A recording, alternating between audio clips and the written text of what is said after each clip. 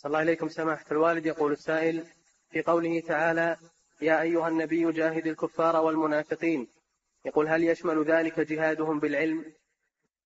المنافقون يجادلون بالحجة واللسان ورد شبهاتهم وأما الكفار فيجاهدون بالسلاح. نعم.